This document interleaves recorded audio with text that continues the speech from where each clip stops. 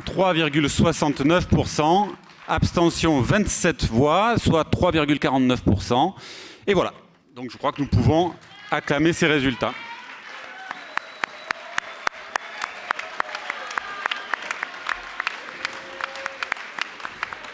Et je vais donc céder la parole immédiatement à Pierre Laurent pour les conclusions de notre conférence nationale.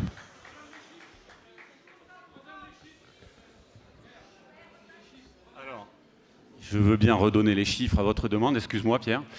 Euh, donc, votant 519 sur 535 inscrits, 218 voix pour l'option numéro 1, 274 voix pour l'option numéro 2, 27 abstentions. Pierre, c'est à toi. Merci. Les votes de notre conférence nationale sont donc euh, acquis. La résolution euh, que nous avons adoptée et qui comporte toute une série de décisions, comme je l'ai dit dans mon intervention ce matin, extrêmement importantes, a été adoptée à plus de 90% sanctionnant l'unité des communistes autour de notre démarche de rassemblement. Concernant les options pour l'élection présidentielle, l'option 2 arrive en tête. Les deux options nous ont partagées dans des proportions qui, viennent d'être énoncées. Les communistes seront saisis de ces résultats et le dernier mot appartient désormais à l'ensemble de nos adhérents qui voteront les 24, 25 et 26 novembre, saisis de ces travaux et de ces résultats. Je crois qu'il est euh, extrêmement important euh, que nous soyons ensemble comptables euh, de la poursuite démocratique de ces débats, comme je l'ai dit ce matin, et que l'ambiance qui a prévalu à la discussion dans les semaines écoulées, une, une, ambiance d'écoute et de respect de toutes les options soit maintenue dans la nouvelle période qui s'ouvre, c'est-à-dire celle qui nous mène au vote des communistes et donc à notre choix euh, provisoirement définitif, puisque dans l'un et dans l'une et l'autre des options, nous avons décidé de poursuivre nos efforts de rassemblement. Je crois que le maintien de cette ambiance euh, de débat respectueuse, comme elle a été, euh, comme elle a marqué nos discussions dans la dernière période, et comme elle a marqué cette conférence nationale, est extrêmement importante, puisque ne l'oublions pas, de la même manière qu'après cette conférence nationale, il importe que nous soyons unis pour mener la bataille, il faudra que nous le soyons après le vote de l'ensemble des communistes qui décidera de la manière dont nous nous engagerons dans cette bataille. À l'issue de cette conférence nationale, le Parti communiste est déterminé, plus que jamais, à jouer un rôle important pour les échéances de 2017, pour contribuer à ouvrir un nouvel espoir à gauche pour notre pays. Notre unité, nous la construisons au service de cet objectif depuis des mois dans la discussion dans un débat qui ne fait pas seulement honneur au Parti communiste, mais qui fait honneur à la vie politique française. Des dizaines de milliers de communistes se sont réunis. Le débat d'aujourd'hui encore a été libre, vif, contradictoire, mais toujours respectueux des points de vue exprimés. C'est une belle leçon de démocratie, une extraordinaire leçon de vie politique. Je dis bien extraordinaire euh, et c'est, je crois, le bon mot, quand on regarde ce qui malheureusement devient l'ordinaire de la vie politique française, les petites phrases, la bataille des égaux, les calculs petits, où l'on nous explique même parfois que le prix d'un pain au chocolat pèsera autant sur le destin du pays que les grandes orientations débattues publiquement, ou encore quand les confidences irresponsables d'un président à des journalistes font la une de l'actualité. Alors, je tenais à le dire à l'issue de, de notre conférence nationale, je suis plus que jamais fier d'être secrétaire national d'un parti, le Parti communiste, qui est capable, qui est capable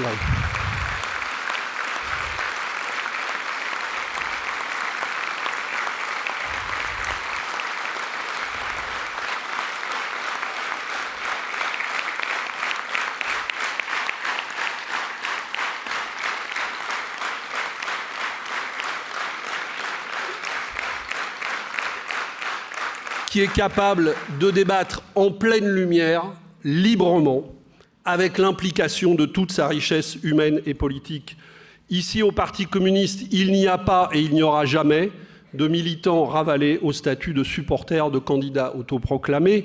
La démocratie, la politique, ça vaut pour l'extérieur, ça vaut pour le Parti communiste lui-même. La démocratie, la politique, la modernité en politique, ce n'est pas cela. La démocratie, c'est notre bien commun que nous nous attachons sans relâche à faire vivre et à faire progresser. Ce n'est pas une leçon que pour notre parti, c'est une leçon pour la gauche, pour la vie politique française. Notre choix de la démocratie au sein de notre parti est constitutif de notre choix de société, celle de citoyens acteurs des choix politiques, face à ceux dont la seule obsession est de les tenir sans cesse à l'écart. Je l'ai exprimé il y a quelques semaines, il y a même quelques mois. Le Parti communiste est la force qui aujourd'hui tient la gauche debout. Et eh bien, chers camarades, au regard des débats de notre conférence et de tous ceux qui l'ont préparée, je le pense encore plus aujourd'hui. Et au-delà du Parti communiste lui-même, je sors renforcé dans l'idée que les partis politiques sont essentiels à la démocratie et à son expression. Je sais bien, je sais bien qu'il est à la mode de dénigrer les partis politiques, pourtant constitutifs de la vie démocratique et du pouvoir des citoyens d'intervenir dans cette vie politique.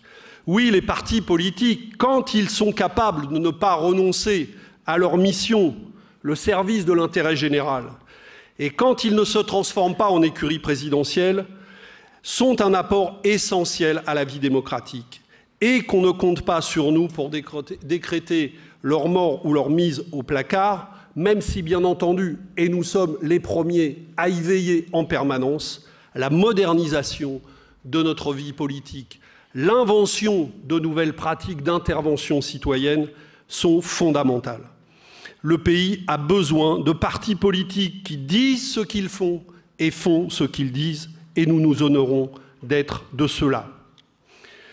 Fort de toutes les initiatives que nous avons prises depuis le mois de janvier pour créer les conditions du rassemblement le plus large possible, nous allons faire exposer publiquement ce que nous avons dit, renverser ou travailler à renverser le scénario que l'on nous présente inlassablement comme inéluctable, celui d'un éclatement à gauche et d'une victoire de la droite et de l'extrême droite. Travailler inlassablement au rassemblement des forces qui, à gauche, peuvent éviter les nouvelles régressions promises et ouvrir le chemin d'une politique d'un nouvel âge pour le progrès social, la démocratie, pour une France qui agisse pour la paix et la coopération en Europe et dans le monde. Pour y parvenir, nous allons faire ce que nous avons dit, nous appuyer sur ce que des dizaines de milliers de personnes ont exprimé ces derniers mois à travers notre consultation citoyenne. 400 000 personnes rencontrées, 65 000 questionnaires remplis, des milliers, des centaines de milliers d'heures de discussion.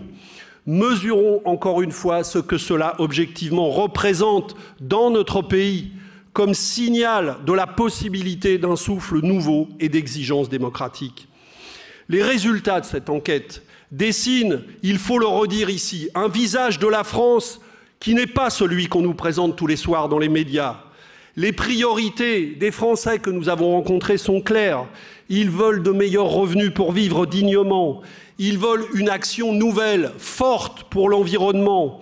Ils veulent la fin des discriminations, de meilleurs services publics et les garanties d'un vivre ensemble qui permettent de construire et de protéger la planète demain. Et les solutions envisagées, quand nous en débattons avec eux, concernent des grandes transformations pour limiter le pouvoir des actionnaires, pour arrêter les privatisations, pour changer la République, pour promouvoir l'égalité femmes-hommes, pour renégocier les traités européens, et je reviendrai sur toutes ces questions. Avec ces citoyennes, ces citoyens que nous avons rencontrés, oui, nous voulons sortir des renoncements, des abandons, des trahisons, parce que la France et les catégories populaires de notre pays méritent mieux que cela. De ce point de vue, le quinquennat de François Hollande a été une purge pour notre peuple, comme un mauvais film que des millions de Français se sont sentis obligés de regarder jusqu'au bout, comme si on était bloqué au milieu d'une rangée de cinéma. Le président a été élu après un mandat traumatisant de Nicolas Sarkozy et dix ans d'un pouvoir de droite qui avait poussé les feux de réformes plus libérales les unes que les autres. Et alors que c'est bien une majorité de gauche qu'il avait élu en 2012, pendant cinq ans, c'est l'austérité qui a prévalu et l'approfondissement du sillon néolibéral, mêlant autoritarisme et déréglementation sociale. Du coup, toutes celles et tous ceux de Valls à Macron qui ont porté cette politique et continuent aujourd'hui à la défendre ou à promouvoir l'idée qu'il faudrait aller plus loin encore, qui s'en font les porte-paroles, sont disqualifiés pour représenter la gauche dans les prochaines élections, car la gauche, dans ses valeurs, dans ce qu'elle a apporté de meilleur à notre pays, ils veulent en vérité la mettre au tombeau. La droite, un temps éberlué après la victoire de 2012, a vite repris ses esprits en organisant la surenchère tout au long du quinquennat et en poussant les feux de son projet de société insupportable et invivable.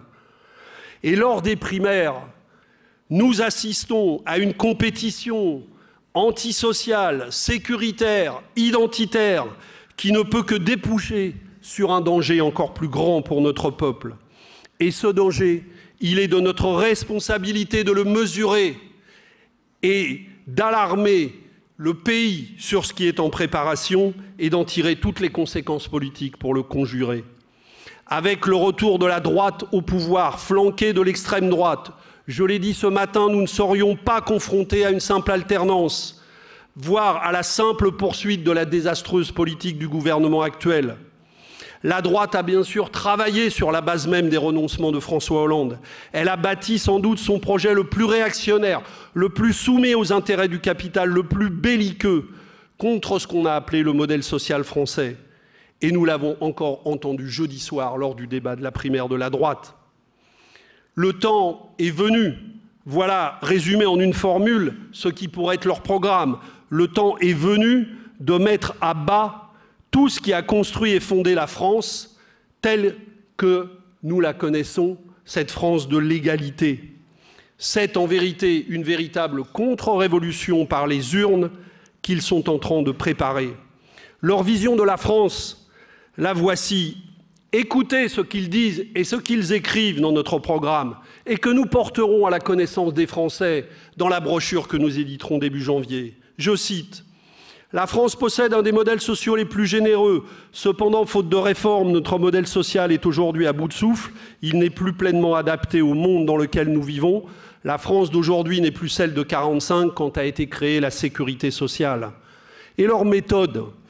Regardez ce qu'on peut lire sur les sites des candidats à la primaire et qu'ils ont tous encore claironné jeudi soir. Je cite encore il faudra mettre en œuvre le programme dès l'été 2017 par voie d'ordonnance, consacrer le temps du quinquennat au suivi, au contrôle et à l'évaluation de leur application, transformer l'état de grâce, je cite toujours, en temps de l'action rapide et efficace et ne céder ni face à la rue ni face à l'administration. Est-il besoin de commenter le coup de force antidémocratique, anti-républicain qui se prépare avec la droite qui prépare sa revanche?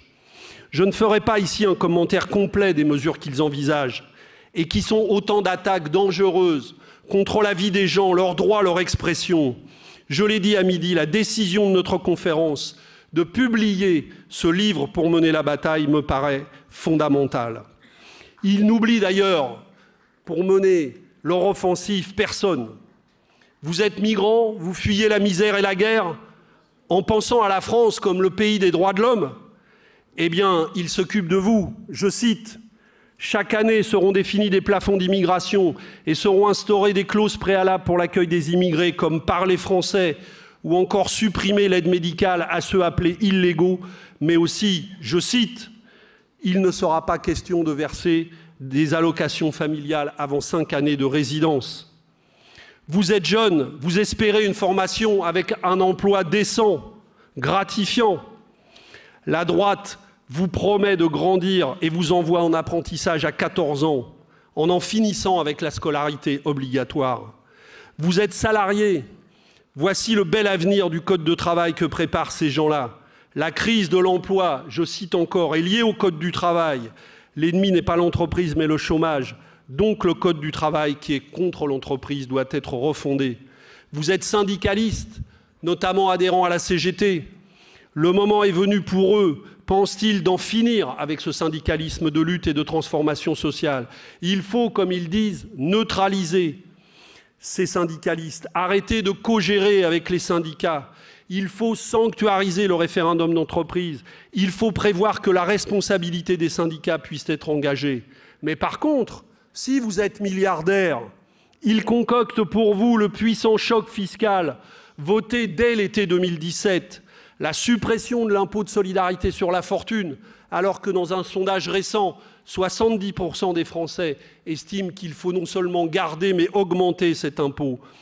Il propose le dispositif zéro charge sur le SMIC et les bas salaires, 25 milliards d'euros à nouveau restitués aux entreprises, mais nous savons et aux ménages mais nous savons de quel ménage il s'agit, à nouveau et encore et toujours les plus fortunés.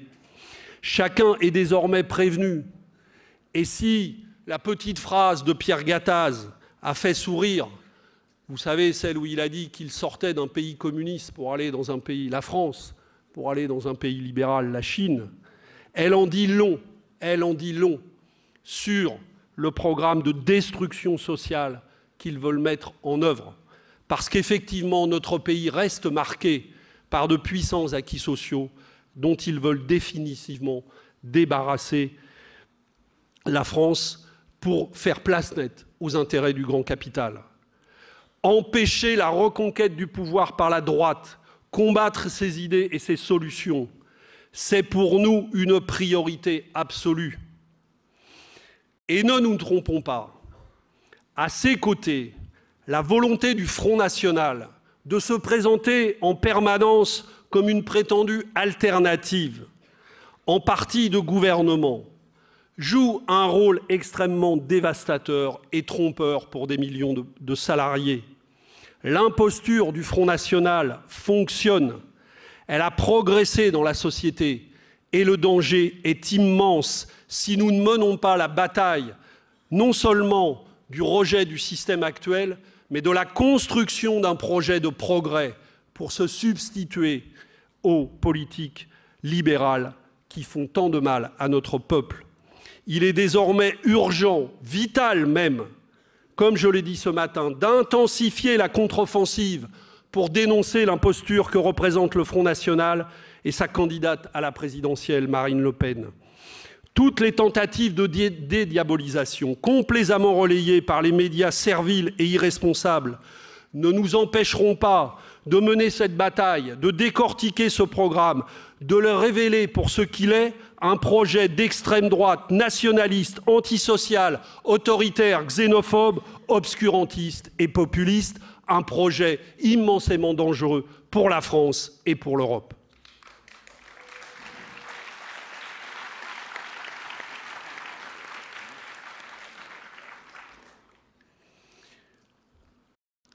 Nous avons d'ailleurs, excusez-moi, en vérité, et nous le démontrerons point par point dans l'ouvrage que nous publions, le social de Marine Le Pen est sans cesse trahi par sa volonté de diviser les pauvres, les salariés et, et les chômeurs. La priorité nationale qu'elle prétend afficher s'accompagne en fait d'une condamnation plus globale de toutes les politiques sociales qu'elle assimile systématiquement à de l'assistanat.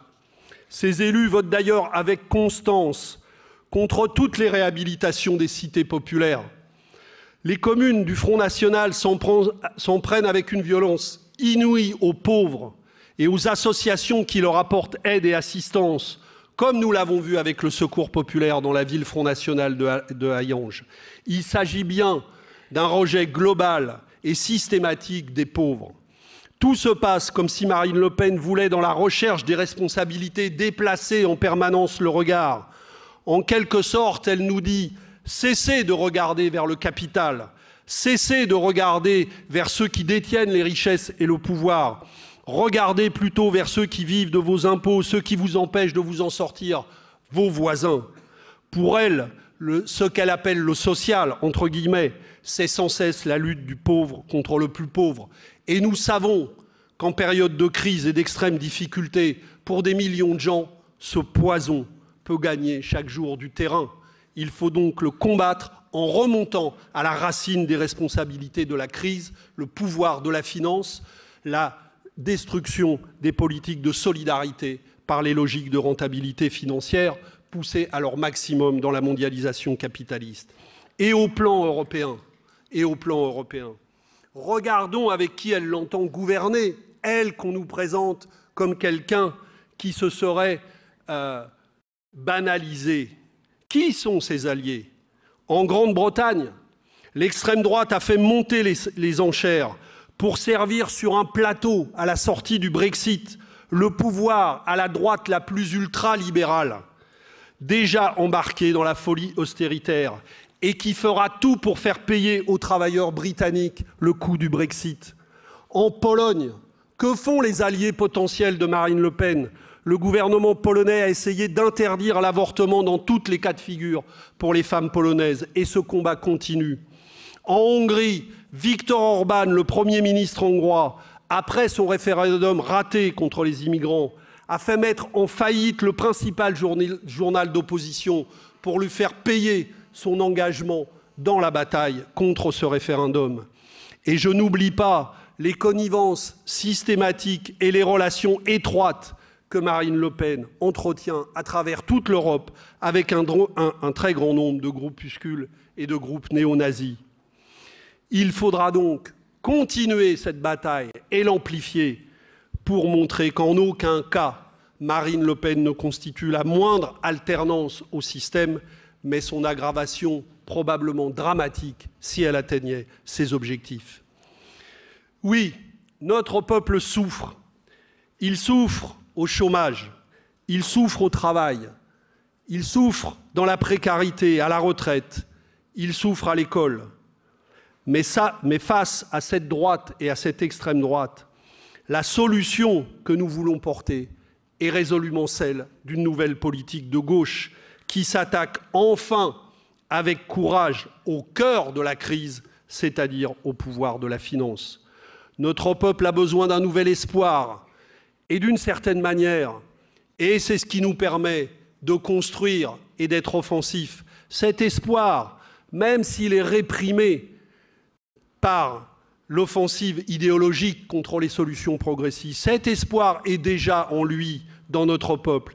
Certes, il y a beaucoup de confusion, des repères brouillés, mais il y a aussi dans notre peuple de la lucidité sur la situation, sur la crise, sur ses responsables, sur l'incapacité des forces dominantes à faire face et sur leur volonté de ne rien changer fondamentalement à la domination des grands intérêts capitalistes. Ce qui manque le plus à notre peuple, c'est la confiance dans les capacités populaires, la confiance dans sa capacité commune à répondre aux défis de la solidarité, de l'environnement, du vivre ensemble, des besoins quotidiens.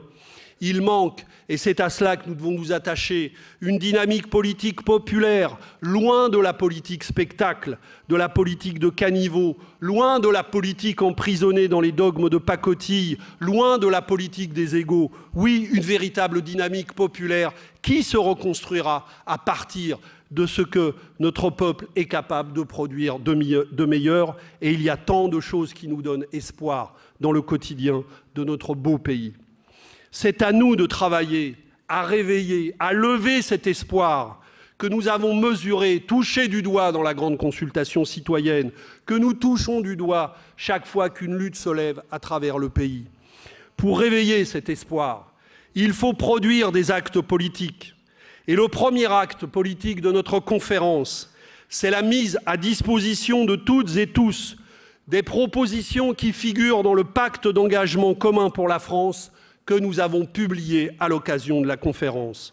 Dès la semaine prochaine, dès la semaine prochaine, ce pacte d'engagement doit être utilisé par nous pour être mis en débat dans tout le pays, pour porter ces solutions et multiplier les initiatives d'organisation, de débat et de lutte autour de ces propositions. Dès la semaine prochaine aussi, lors des rencontres de l'appel des 100, le 12 novembre, auquel notre parti participera. Et la semaine suivante, lors des assises des convergences des services publics, Lors aussi du congrès de l'Association nationale des élus communistes et républicains, nous utiliserons ces propositions pour nourrir le débat et continuer à le construire. Ce projet pour la France, dont nous n'avons pas eu le temps, occupé à prendre les décisions que vous connaissez, dont nous n'avons pas eu le temps de suffisamment discuter dans cette conférence nationale, mais qui mérite l'attention de tous les communistes, parce qu'il résulte d'un très grand travail mené par le comité du projet du parti sur la base de la consultation citoyenne depuis le Congrès. Ce projet comporte des grands axes de transformation de la société française que nous avons voulu concrets et accessibles. Il y a, à travers ces sept axes, quatre mots qui en constituent le fil rouge progrès, démocratie, égalité et paix. Oui, le progrès social et écologique, c'est l'ambition centrale de notre pacte d'engagement. Face à la régression sociale que constitue la loi El Khomri, la pire atteinte contre les droits des travailleurs de ces dernières décennies, la France a besoin au contraire de nouvelles avancées de civilisation. La droite et l'extrême droite, je l'ai dit, voudraient poursuivre la casse du Code du travail. Nous proposons au contraire un nouvel âge de la sécurité sociale pour éradiquer le chômage et la précarité. Et c'est le sens de la proposition de loi pour une sécurisation de l'emploi et de la formation qu'il nous faut mettre en débat dans tout le pays pour la porter jusqu'aux élections législatives et après, en la travaillant avec l'ensemble des travailleurs, des syndicalistes et des élus de notre pays. Nous voulons porter le débat sur la question des salaires.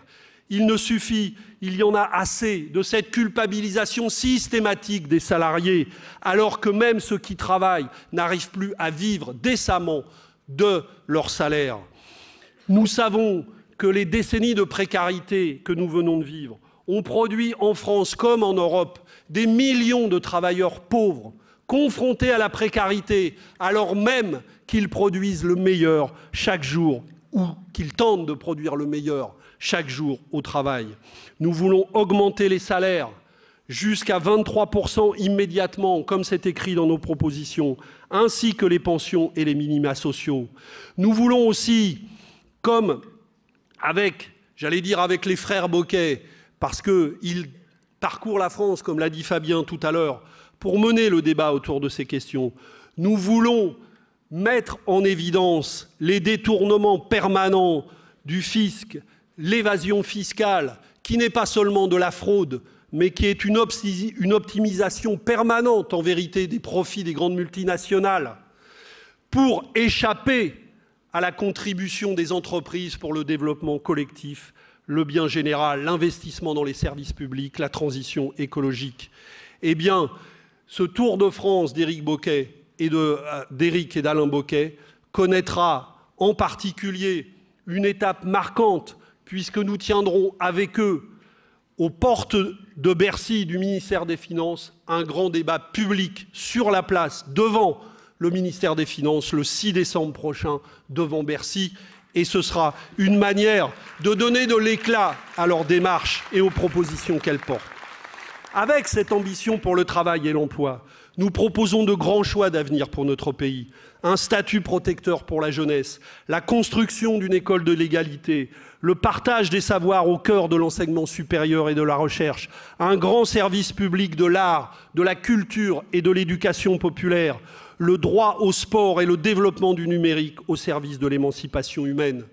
Aux jeunes, aux lycéens, aux apprentis, aux étudiants, aux jeunes salariés, aux jeunes de nos campagnes et de nos cités, nous lançons un appel à débattre de ces propositions. Nous vous écoutons, nous écoutons vos aspirations, vos envies, vos rêves. Vous n'êtes pas condamné aux galères.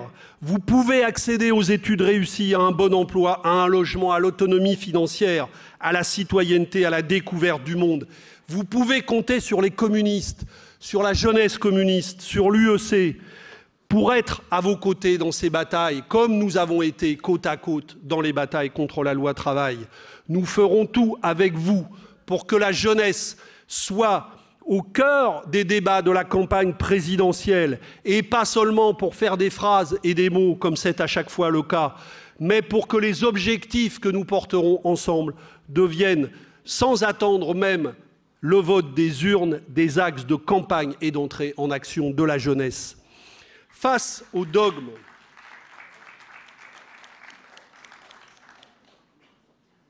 face au dogme de la rentabilité et à la concurrence généralisée promis par les libéraux, nous proposons un nouveau mode de production et de consommation pour la France, une nouvelle industrialisation.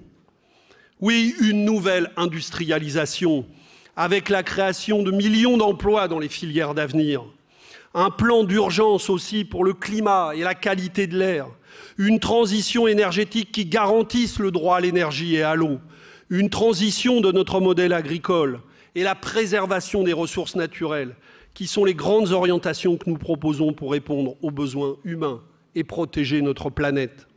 Notre pays doit être exemplaire en ces domaines. Il y en a un, notamment, qui est primordial, c'est l'aide financière, matérielle, concrète aux pays en difficulté, et notamment aux pays d'Afrique, avec, lesquels la France a, une longue histoire, pour qu'ils puissent mettre réellement en place les objectifs de la COP 21 et leurs objectifs de développement. Nous proposons aussi de donner une place nouvelle aux questions de l'économie coopérative, de l'économie sociale et solidaire dans notre projet pour la France. Et c'est un sujet sur lequel des salariés de plus en plus nombreux se mobilisent, notamment quand ils veulent, reprendre leur entreprise des Fralib à Ecopla, à la Belle Aude, à Alpha Taxi, aux AMAP, aux associations d'insertion, de nouveaux modèles économiques s'inventent, plaçant les salariés au cœur du système. Et nous devons porter ces propositions. Oui, il faut dans tous les domaines, dans tous les domaines, et c'est le cœur, je l'ai dit, reprendre le pouvoir sur la finance en changeant notamment, et c'est une question fondamentale dont nous faisons une priorité, en quelque sorte une tête de chapitre en changeant le rôle des banques. Il y en a assez des banques qui servent, les intérêts de la finance, qui détournent l'argent qui est le nôtre, alors que cet argent devrait servir le développement euh, mutuel. Nous créerons un pôle public bancaire avec au cœur la nationalisation de BNP Paribas et de la Société Générale. Et nous porterons cet objectif dans des luttes concrètes. Nous invitons les sociétaires des banques, des mutuelles à s'organiser aussi pour prendre tout de suite des pouvoirs dans les assemblées générales et pour y faire valoir des choix progressistes. La démocratie est un atout précieux face aux forces de l'argent. Et c'est une question qui est devenue maintenant centrale pour sortir le pays de la crise. Le quinquennat de François Hollande et celui qui l'a précédé de Nicolas Sarkozy le montrent. Pour que les citoyens puissent reprendre la main, nous devons remettre en cause la hiérarchie des pouvoirs. Nous devons remettre en cause les pouvoirs exorbitants du président de la République sur l'ensemble de nos institutions. Nous prendrons des mesures immédiates pour sortir du, présidentialisme et redonner la primauté au Parlement en supprimant en tout premier lieu, puisque c'est ça qui a fait l'actualité, l'article 49.3 de la Constitution, mais il y a beaucoup d'autres dispositions à, inverser pour recréer les bases d'un processus constituant pour une nouvelle République. Cette ambition démocratique, elle va de pair chez nous, cette ambition de rénovation démocratique des institutions, va de pair chez nous avec une ambition d'un véritable renouveau de la politique, c'est-à-dire un renouveau de l'intervention citoyenne et l'instauration de nouveaux pouvoirs citoyens. L'initiative législative doit être repensée, l'initiative référendaire, le droit pétitionnaire pour les citoyens, tout cela doit être remis sur la table. Les droits des salariés, des citoyens, des usagers dans les services publics, sur sur l'organisation du travail, sur les choix de gestion, tout cela doit être remis sur la table. Et dans les institutions, le non-cumul des mandats doit aller de pair avec la mise en place d'un statut de l'élu qui permette aux salariés d'exercer un mandat et de retourner à leur activité professionnelle après ce mandat. Les communistes vont continuer à consulter le peuple à tout moment, comme nous l'avons fait avec la grande consultation citoyenne que demande le peuple autour de ces propositions. Et nous mettrons à l'occasion en pratique ces idées-là, en multipliant les assemblées citoyennes de circonscription, les ateliers législatifs, les fabriques coopératives, comme nous savons déjà le faire dans de très nombreuses occasions, Mais très souvent, je veux le faire remarquer, nous nous privons de ces outils que nous savons mettre en place dans les campagnes de proximité, dans les grandes campagnes nationales comme l'élection présidentielle. Eh bien, nous avons tort. L'élection présidentielle, nous devons la faire descendre dans le quotidien des Français. Nous devons la faire sortir de la télévision et des médias pour en faire un objet d'intervention populaire. Et la meilleure manière de lier élection présidentielle et élection législative est de multiplier ces lieux d'intervention directe des citoyens dans les ateliers législatifs, les fabriques coopératives, les assemblées citoyennes de circonscription. Nous agirons à travers ça pour faire respecter les choix souverains des peuples européens exprimés dans les élections, les parlements, les référendums. Et nous demanderons que l'architecture de l'Union européenne soit totalement repensée jusqu'à la rédaction d'un nouveau traité. Et nous mettrons cette question non seulement au cœur du débat présidentiel, mais nous offrons une question majeure jusqu'aux élections européennes de 2019 que nous devons commencer à préparer avec une ambition bien plus importante que celle que nous avons portée dans les dernières élections européennes. L'égalité, L'égalité. L'égalité doit être pour nous le moteur de la transformation de la société française. Nous nous adressons aux femmes et aux hommes de notre pays en leur disant clairement que la lutte pour l'égalité est le cœur de notre projet républicain, de notre projet social. Il est temps, de ce point de vue, de sortir de la préhistoire patriarcale de notre société pour faire enfin réellement triompher l'égalité femmes-hommes dans tous les domaines. Et nous avons fait de cette question un axe central, un des sept axes de notre programme, et nous entendons dans la campagne lui donner une importance toute particulière.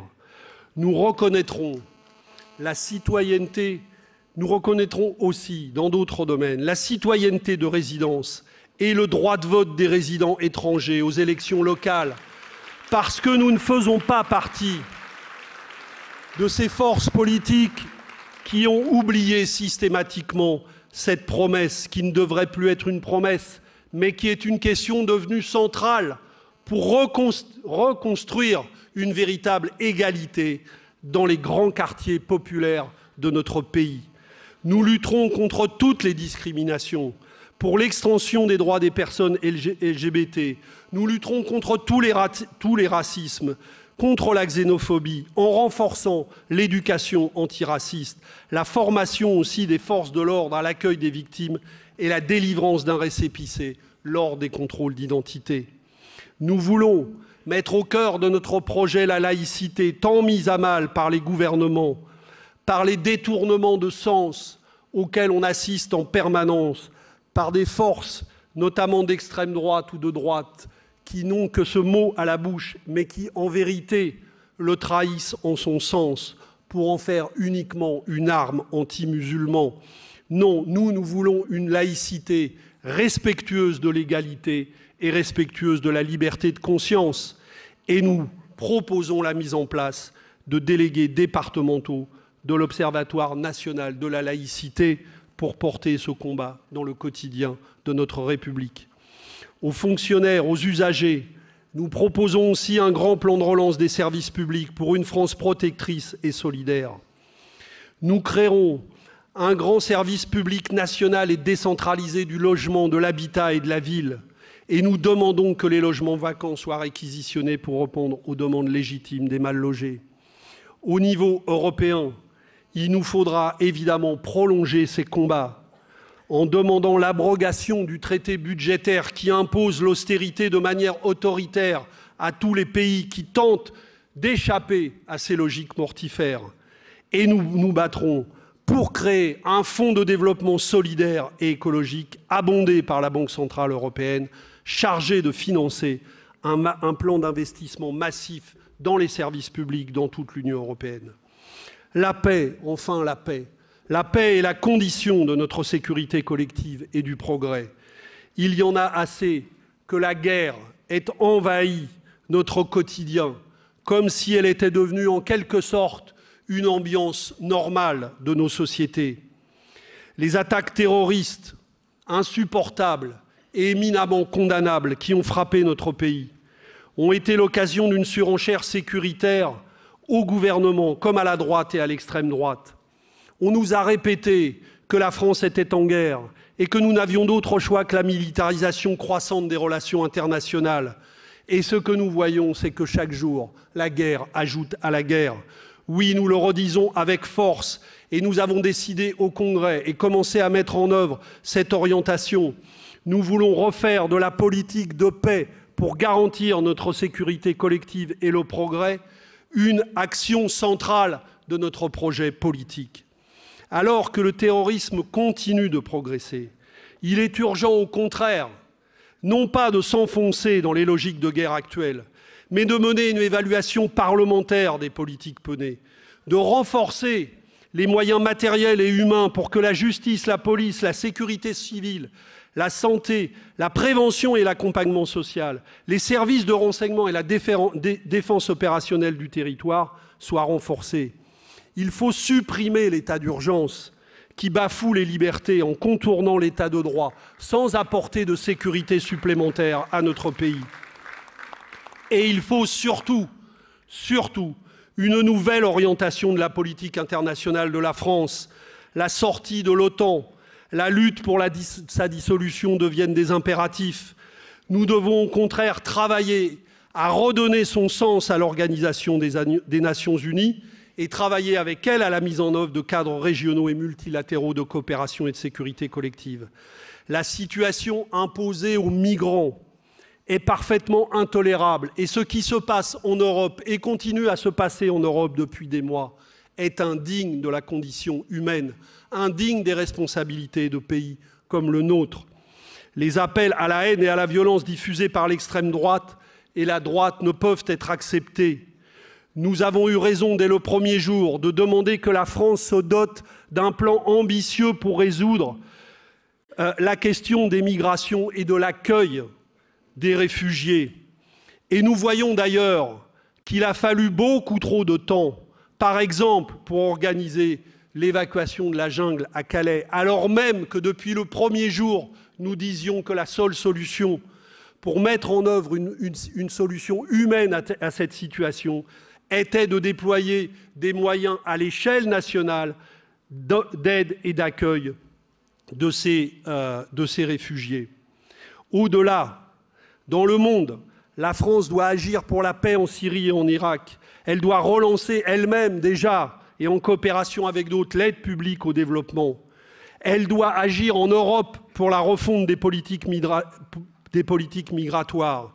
Elle doit ouvrir des voies d'accès légales à, en Europe, à l'Europe, pour en finir avec la transformation de la Méditerranée en cimetière.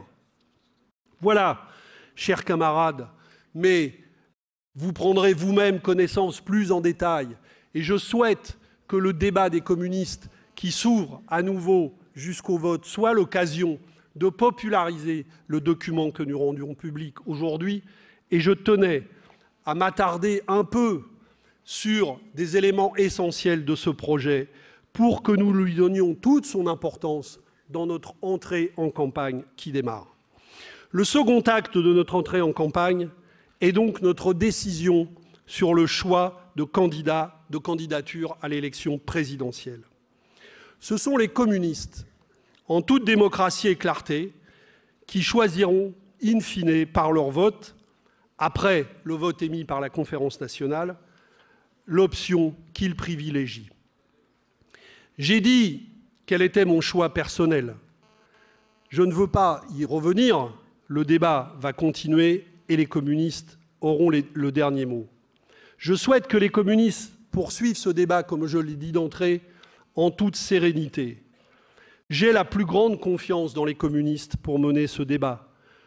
Je sais que nos militants nos adhérents, nos camarades, ces femmes et ces hommes de conviction, ces lutteurs, ces rebelles, sauront choisir en, de manière mature, le choix qui convient le mieux à avancer, et leur choix sera le nôtre à tous. Nous le mettrons en œuvre une fois qu'il aura été établi démocratiquement.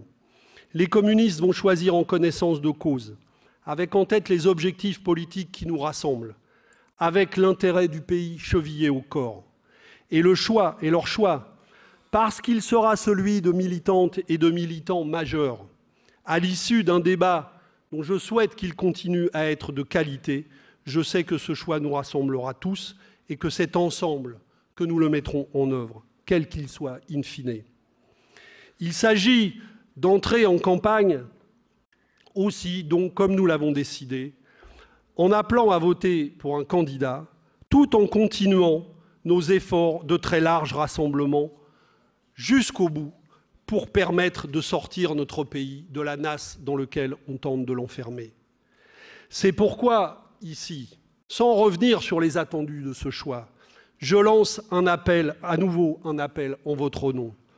Un appel à tous, citoyens, forces politiques démocratiques de gauche, qui souhaitent sortir du piège tendu et ouvrir une nouvelle perspective. Nous sommes tous face à nos responsabilités. Nous devons tous mettre un terme à la dispersion actuelle et nous devons travailler sans relâche pour éviter cette dispersion. Nous appelons les habitants de nos communes, de nos quartiers, les salariés des entreprises, les jeunes dans les lycées et universités à construire ce large rassemblement populaire qui ne pourra pas se construire seulement d'en haut, autour d'une candidature quelle qu'elle soit, mais qui doit se construire en bas, partout dans le pays, en mettant en mouvement les femmes et les hommes appelés à le construire et à en garantir le chemin. À vous toutes et vous tous qui avez refusé la loi El Khomri, qui vous êtes mobilisés par, centaines de milliers l'an dernier, qui avez refusé la déchéance de nationalité, à vous qui avez, avec rage, avez assisté au renoncement, aux trahisons du quinquennat Hollande, du quinquennat Sarkozy avant cela, à vous qui refusez la France du repli, de l'égoïsme et de la violence que promeut Marine Le Pen. Nous vous appelons à créer une immense vague citoyenne d'espoir autour de vos aspirations, de vos exigences. Et c'est cet espoir en commun que nous voulons construire.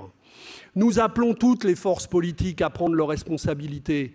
Nous appelons Jean-Luc Mélenchon à prendre les siennes pour ouvrir la porte à un rassemblement plus large que celui qu'il a décidé de construire en créant la France insoumise. Il est bien évident que pas plus que le Parti communiste seul peut prétendre incarner le rassemblement majoritaire que nous visons.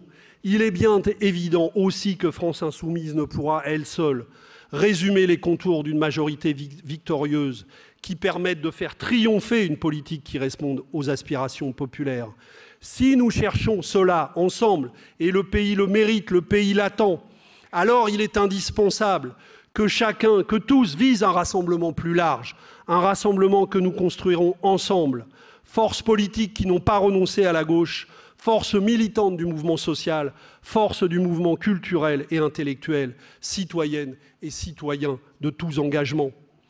Nous appelons les écologistes à s'associer à notre effort car la conquête d'un nouveau mode de développement à l'échelle de notre pays, mais à l'échelle européenne et mondiale, ne pourra se faire face aux résistances des grands intérêts capitalistiques, ne pourra se faire qu'en déployant là aussi un large mouvement de mobilisation populaire, comme cela a été en partie le cas à l'occasion de la COP 21 en France. Je dis aux écologistes vous souhaitez une candidature de vos rangs qui porte dans la campagne des idées de l'écologie politique. Et nous avons des débats. Mais réfléchissez à ce, que, sera pour vous le résultat en procédant de la sorte. Est-ce que vos idées sortiront plus fortes face aux projets politiques de la droite et de l'extrême droite? Eh bien non. Nous, nous croyons que si nous travaillons ensemble, portés par une gauche rassemblée, nous pouvons réinventer ensemble un mouvement plus porteur et plus pertinent. Nous appelons aussi les socialistes critiques à sortir du piège dans lequel risquent de les enfermer les promoteurs d'une primaire qui ne visait en vérité qu'une primaire conçue pour mettre sur orbite la candidature de François Hollande et qui est en train de devenir un bateau ivre sans perspective livrée au desiderata d'une présidence qui ne sait plus comment sortir de l'impasse qu'elle a elle-même créée. Je leur dis, c'est avec nous que vous pouvez construire un avenir qui soit un avenir de progrès. C'est avec nous que nous pouvons ensemble remettre sur les rails un projet de gauche qui remette à l'ordre du jour le progrès social, la justice, la solidarité, la transition écologique. Les communistes s'engagent, nous l'avons dit dans la résolution, à participer à toutes les initiatives euh, permettant ces rassemblements et nous le ferons, je l'ai dit, le 12 novembre avec l'appel des 100.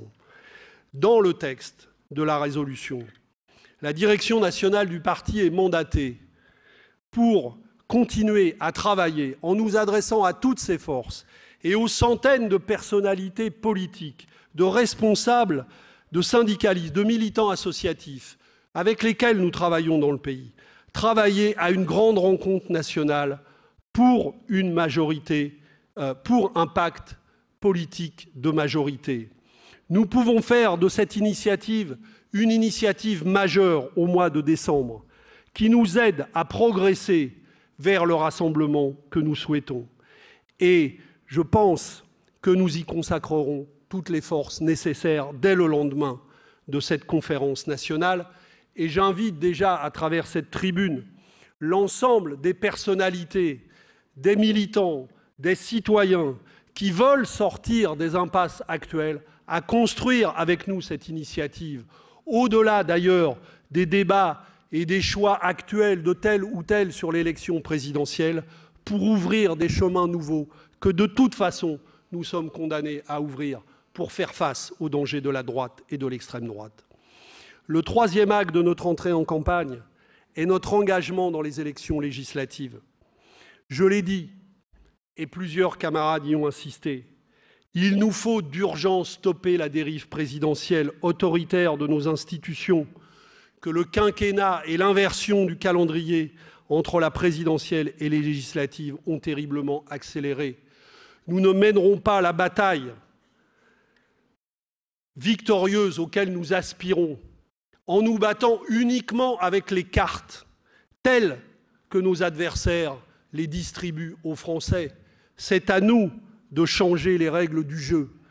Nous devons engager une bataille présidentielle, une bataille législative, à l'égal de la bataille présidentielle. Bien sûr, les deux échéances sont liées, mais il faut que nous réveillons un débat populaire sur la confiscation démocratique que constitue l'effacement total des élections législatives dans nos institutions, puisqu'en vérité, c'est bien cela dont il s'agit, avec des élections législatives fixées dans leur premier tour, cinq semaines après l'élection présidentielle.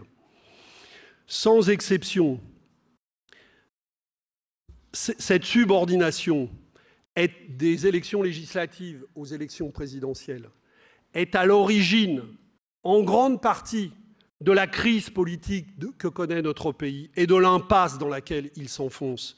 Penser sortir de cette situation en s'enfonçant nous-mêmes dans la seule présidentialisation de notre combat est un danger qui nous guette et auquel, même dans nos débats, nous n'échappons pas toujours.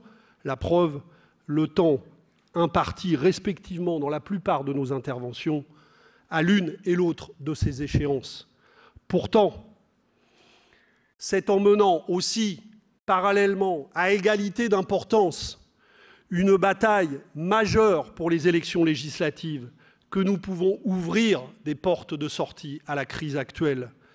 Comme le dit notre résolution, les élections législatives sont ravalées aujourd'hui à une sous-élection juste, euh, juste dédié à donner une majorité à un président monarque et éventuellement un bonus à son challenger.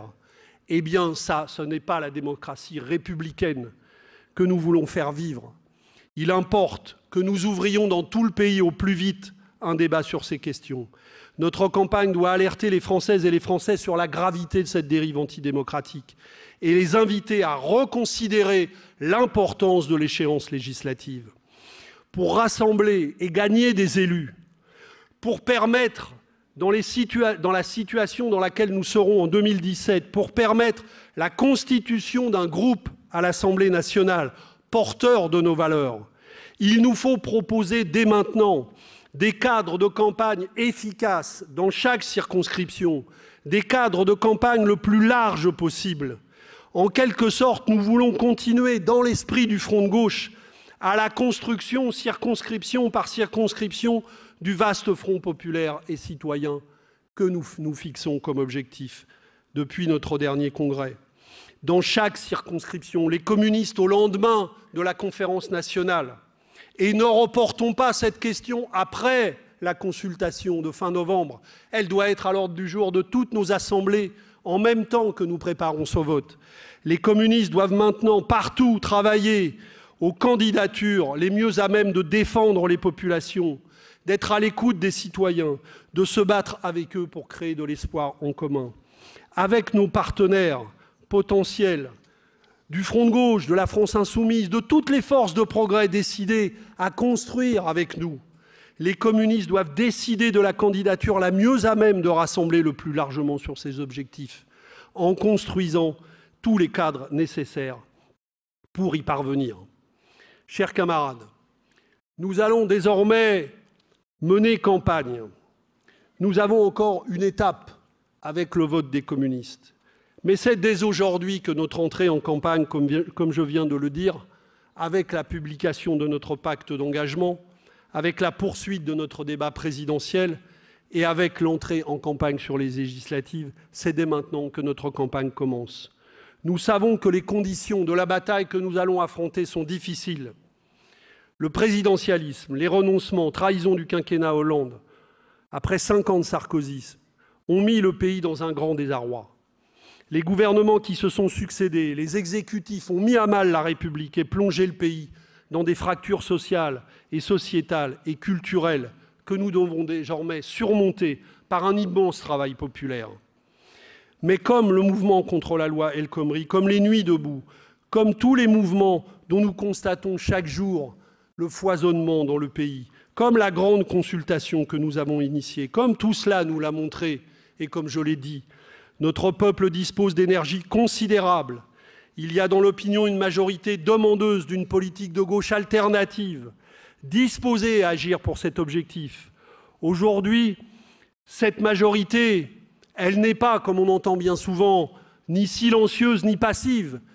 Non, en vérité, elle agit mais elle manque de visibilité, d'unité politique. Elle manque d'un projet capable de redynamiser l'espoir. C'est à tout cela que nous devons travailler.